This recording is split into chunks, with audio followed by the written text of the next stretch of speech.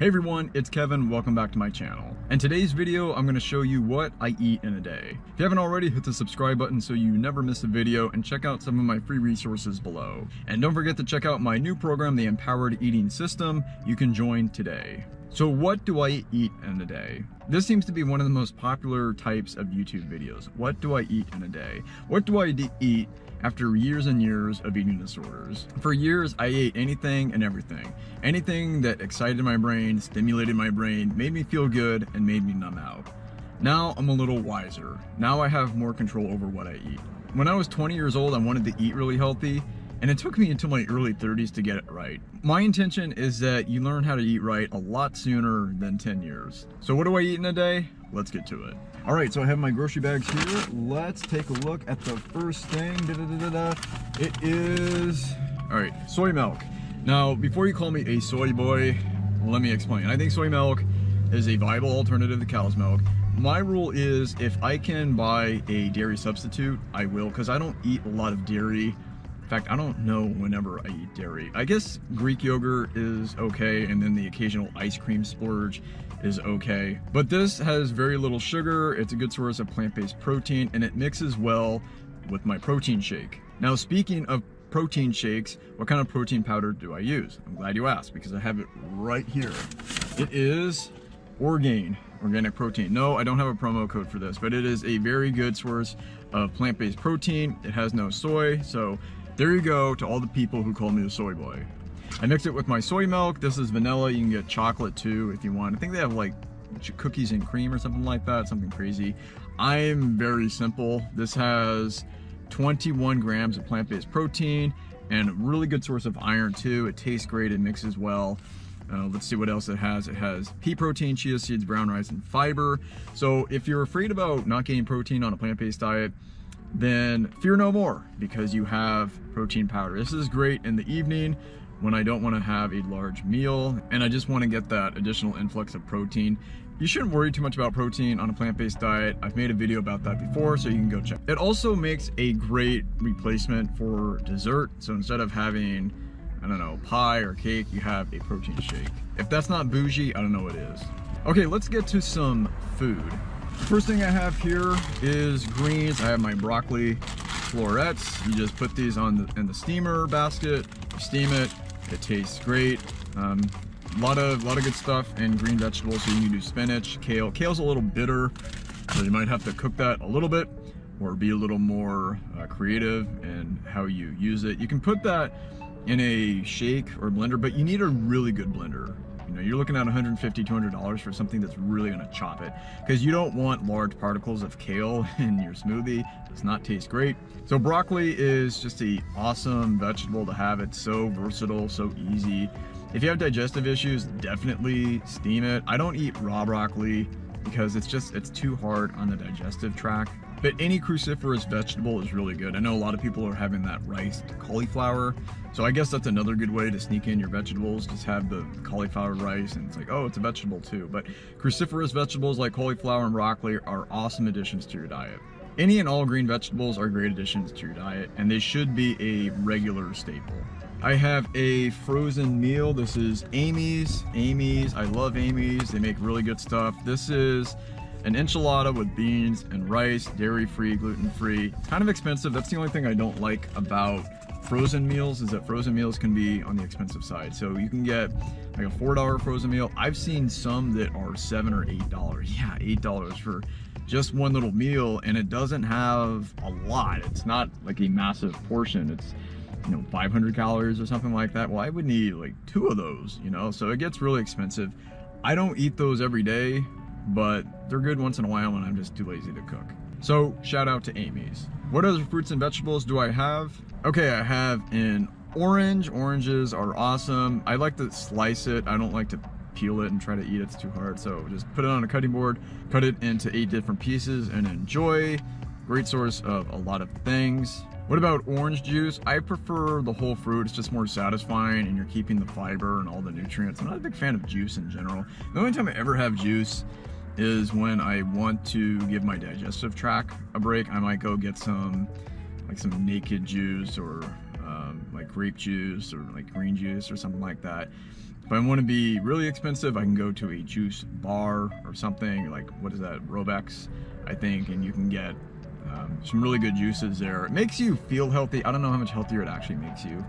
Um, it's just one of those things that appears healthy. My point is have the whole fruit when possible. Okay, now we have the sweet potato. If I had to eat one food for an entire year, I would eat the sweet potato because it's just, it's so satisfying. It's vitamin A, vitamin C, fiber, potassium, everything. There's so many good things in this.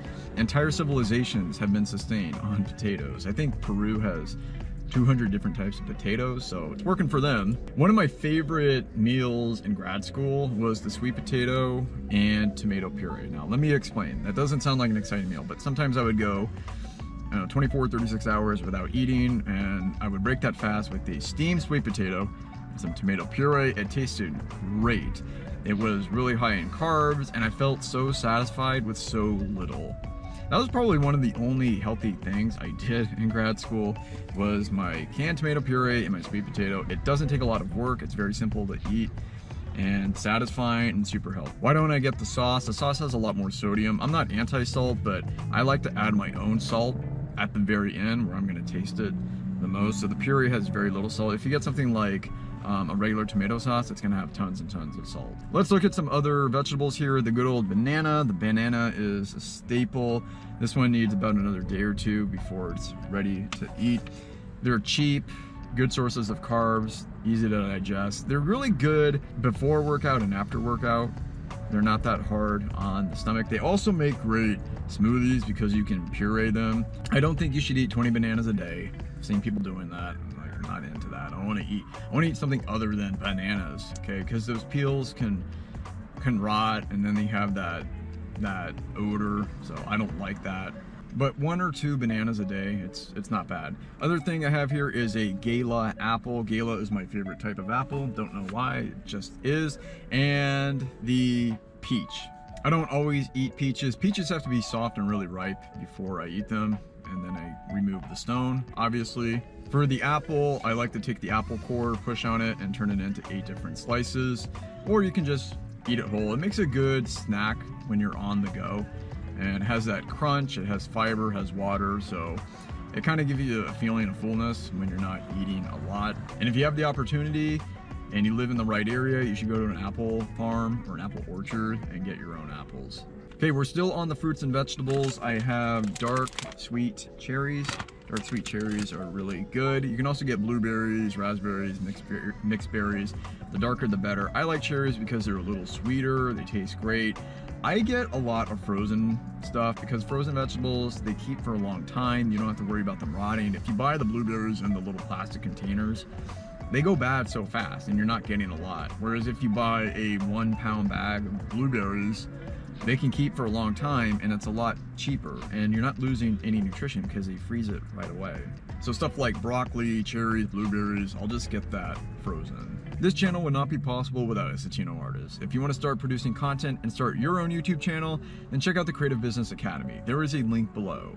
And then finally, for fruits and vegetables, I have good old guacamole. I think guacamole is an easier way to get avocado, uh, plant-based fat, than just getting an avocado. My, my mom was gonna make homemade guacamole. She bought all these avocados, and on the day of the party, the avocados still hadn't ripened. She she spent all this money on avocados and they still weren't ready. So that's the problem with avocados is that you never know when it's gonna be right. So why don't you just make the store make it for you and you can have great guacamole. So guacamole mixes well with chips or uh, crackers. Triscuits are my favorite. Or if you don't want chips and crackers, you can get carrots, like baby carrots and guacamole. And speaking of carrots, I have baby carrots. Baby carrots are really convenient. They're cheap. I got this for a dollar. Okay, that's one pound. You can get five servings, whatever you consider a serving, you can get one pound of raw vegetables in your system for a dollar. Okay, no, you're not gonna turn orange. They're really crunchy, they're a great snack. If you get hungry at night, I say eat some carrots because you're not gonna get fat on these. They basically have no calories. They're gonna fill you up. They're gonna make you feel healthy. Just don't get cookies and ice cream at night. Baby carrots, one of the best inventions ever. I mentioned plant-based fats. Here's another good example, almonds, okay? This is almond country, so those almonds probably came from one of the orchards around here. You can get walnuts, you can get flaxseed, you can get pecans, peanuts, cashews. It really doesn't matter. If you want a variety, just get the mixed nuts.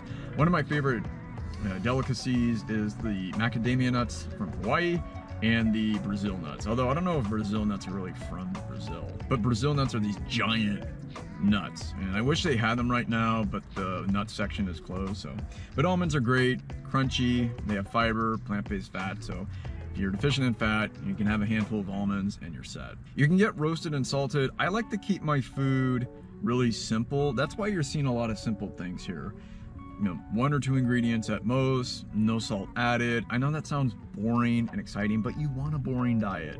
You don't want a super exciting diet because then you're overeating it all the time and you have these cravings and you just want to eat more. I made a video earlier this year about my experiment where I ate nothing but really tasty, palatable food, and it's really hard to like control the cravings because you just want more and more and it compels you to eat more. But this stuff is simple, it's satisfying, and if you do like intermittent fasting, like 18 hours or maybe like 16 hours, you're gonna be hungry and you, you don't need something that's really exciting. Any of these foods will satisfy you. Also, do I eat any meat or dairy? Not really. I eat ice cream when it's available or when somebody's serving a dessert. Meat the same way. If it's a high quality meat and somebody else is making it and somebody else paid for it, I'll have it.